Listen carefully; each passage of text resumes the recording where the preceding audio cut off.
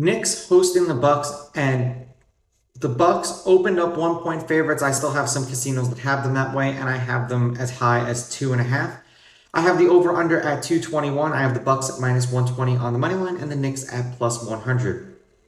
The Bucks lost the last game that they played. The Knicks are on a four-game winning streak. Now, before you bet on this game, go to Twitter, go to Underdog NBA, and check out what players are actually starting in this game because I imagine this line is changing a little bit based off of whether or not Giannis is going to play in this particular game. Head to head, the Bucks are on a five-game winning streak against the Knicks. The Bucks are seven and three against the Knicks in their last ten. The favorite is six three and one against the spread. The favorite is seven and three on the money line. The over/under is five and five. The over/under at 221 is five and five, and the home team is five and five.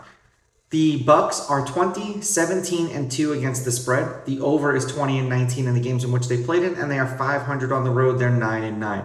The loss of Middleton is a lot greater than some people would give it credit to because when he's in the lineup, seemingly they always cover. The Knicks are 21, 17, and 2 against the spread. The over is 21 and 19 in the games in which they played in, and they are 10 and 10 at home. They're actually better on the road this year.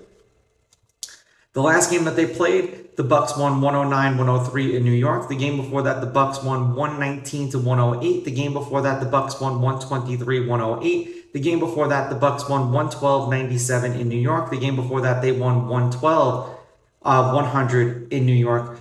The last time the Knicks beat the Bucks was on November 5th of 2021. They won 113-98 in Milwaukee. I'm going to take Milwaukee with the money line. I'm going to take Milwaukee laying the points. And I have a feeling this game is going to go over because every time I pick the Knicks to go under, they go over. These are just my picks. If you disagree, please go with your gut and please bet responsibly.